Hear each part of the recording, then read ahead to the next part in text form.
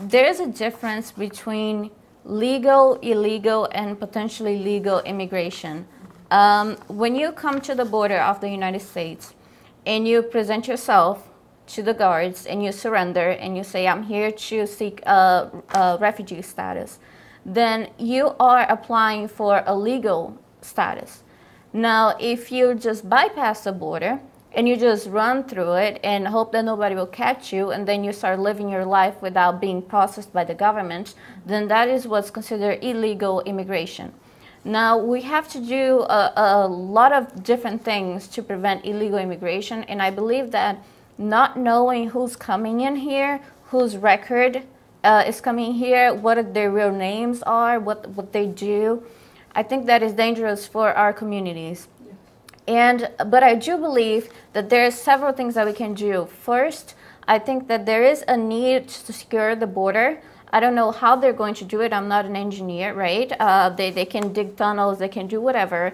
But w- the point is, we do need to secure the border because once you have that type of activity at the border, that type of illegal, potentially illegal activity at the border, then you bring in these people who are desperate, and people will take advantage of those folks there's the potential of people being human trafficked, uh, organ trafficked, uh, weapons trafficked, drug trafficking, all those things going to the border because they're taking advantage of the desperate folks they're trying to go through there. Now, doing that is one thing. We also can revamp our legal system to allow people who are actually, they might not want to uh, surrender at the border because they think if I do surrender at the border, I'm not going to be given a chance, right? right. Um, so there is the possibility of revamping the legal system, making it better. Now that's the whole, you know, I'm going to revamp the legal, but I'm spending so much money on the illegal. Where, where the funds going to come from? I don't know if they're they're discussing that type of budget thing, considering our nation is in huge amounts of that. But we do need to figure out how we can make our immigration system safer and, and better. And it's not a matter of uh, this person deserves it or not. It's a matter of there's people actually being trafficked at the border. There's people actually going through danger and going through the desert and going through all of that. And how can we prevent that from happening today? That is a problem that we can prevent from happening from people dying today in that situation. And I think we should look at it from all angles. So for me, I think the heart of the immigration issue for me is that we've heard about the statistics that uh, the United States will become a majority minority country by 2050. Uh, the Hispanic population will, you know, soon uh, remake really what um, the United States, you know, the average United States person, you know, the aggregate would look like. Uh, the Asian American population is the fastest growing, you know, um, relative to who they are, and I think that there is some anxiety, you know, about that. That the United States will look very different um, demographically. Mm-hmm. And for all of the wonderful words in our Constitution and our Declaration of Independence that I believe, you know, guide me as much as, you know, my faith does in, in a lot of ways, um, our, historically, our country has always protected, I think, you know, white American male folk over women, even over minorities. Um, and yeah. that is just as much a part of our history um, and our ethos as, as anything. And so I think at the heart of immigration is some level of concern about the remaking of the United States. And so when you talk about folks not coming to seek asylum properly and, and are going the other way, I look at that same issue and I think about what are ways we've choked off the ability for the number of folks to seek asylum when we limit the number of judges that are able to sort of dedicate their time to what ways are we sort of bottlenecking this process not necessarily because we couldn't uh, afford more cases to be seen, more folks to be deemed, you know, whether it's an actual asylum case or not. Uh, but when you see folks making those decisions to risk being trafficked or to risk going into those situations, I think more about what is the United States doing to perpetuate that? What is the United States doing to uh, failing to allow for them to come, you know, more uh, easily legally? And ultimately, we have to decide when it comes to immigration, when it comes to the future of our country, is this a concern? Are we okay with the United States of America becoming a truly multicultural place? We always say that, but it hasn't exactly been um, possible. You know, there's been a lot of uh, institutional ways to, to prevent that um, from folks coming um, to positions of power or leadership, and that one day will not be the case. May I touch on something that you said, um, and as well? Um, for me, honestly, it comes down to education mm. and taxes. You know, when we give tax breaks to the super rich, we are draining the resources. You know, we don't have enough money for resources as to fix immigration issues, to fix the education system in our country. We are we need we need education we as as to continue to grow as a country you know with technology for example you're talking about jobs being well we have new technology we can create those more jobs if we just use the tools that we have but we need money for that so if multimillionaires and billionaires are getting tax breaks left and right and the working person like you're saying the Ameri- people are born here and they have no resources because they're working three four jobs so they never see their kids or uh, they have $500 in their savings account, well, that could be remedied with tax breaks. So, I, I mean, that's, I feel like, and we can, we can do better. We should do better. Uh, to me, one thing I really have a grave concern about this country is we have this culture in the last two decades have this anti-white male mentality in, in, in this country. It, I have grave concern for that because it to me some, it looks like a cons- conspiracy. China don't even open the door, allow you to get in. So we are coming to the most welcoming country in the entire whole world. As Asian, I can't even move to Japan. Japan not going to let me in. I can go to Korea, they not let, let me in. I go to Middle East, they not let me in. The only place let me in, probably I have a chance, Western white Christian nation, mm. let me in. But we are joining, as a minority, we are joining into the bandwagon of anti-white male. Mm. And that is, it's something since very, very odd.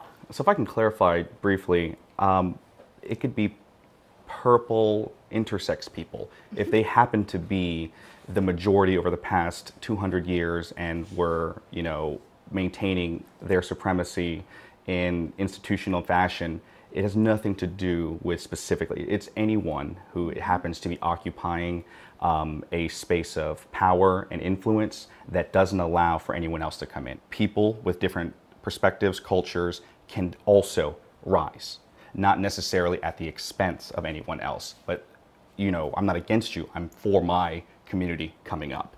And so I think that's an important thing to clarify. It has nothing to do with who it is. But when it comes to any established entity that has maintained exclusive privilege and power at the expense of other folks, mm-hmm as we begin to progress and recognize that that is not it could be for some folks but if we come as a country to recognize that that's not the future we want then there is room to include other folks in those positions not necessarily again in a zero sum fashion i think american like my personal experience uh, america is the most welcoming country in the entire whole world and like i say even within my own race I would not have the opportunity I have right now here. I would not have the, the communist com, uh, country, absolutely, we are same race, we are the same culture. I absolutely have no chance can run an office over there or, have, or even have a free speech. Right now, the Chinese um, social media, anytime you say to criticize the government, you got shut down, you don't have free speech. And there is the same race, the same cultures. And this is happening all over the world, and same in the Middle East the same Middle East, they are same race govern their own people. So, so the thing is saying um, America is not inclusive. I, I think America is the most inclusive one. I want to take exception to the American exceptionalism. um, because I had the opportunity um, a couple years ago, four years ago, I had a friend who worked at the airlines who gave me free airfare anywhere in the world for a year. It was, this, it was an incredible gift. And I went to 12 countries and I was interviewing people, mostly um, gay people, about how their life was in those, those countries. And one of the things I learned is to listen more and to be quiet because we Americans have a reputation of being um, the know it all teenagers who think we're the best, but we're only a teenager, so we really don't know. So I think there's plenty of countries around the world that have it right in terms of prosperity and equality and freedom, and there's this index that measures um, happiness. happiness, right? And there's a lot of Scandinavian countries that have high happiness. Um, Denmark and New Zealand have um, are the least corrupt countries in the world. So one of the things I learned when I was traveling was to drop this sense that that is so predominant that when I grew up with, which is America's the best. And actually, both parties are, are engaged in American exceptionalism. But I think that, like, if you look at any measure, right, um, education, immigration, wealth, happiness, we're not the top.